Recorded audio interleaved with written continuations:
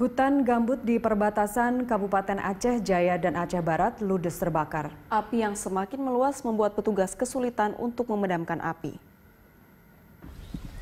Kebakaran juga mengakibatkan jarak pandang di lintas Banda Aceh, Aceh Barat terganggu.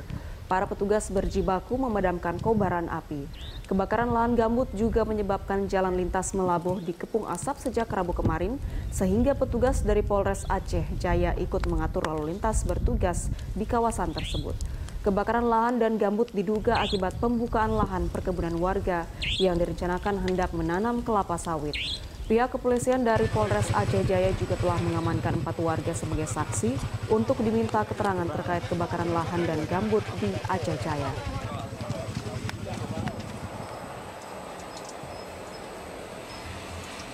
Yo, otro.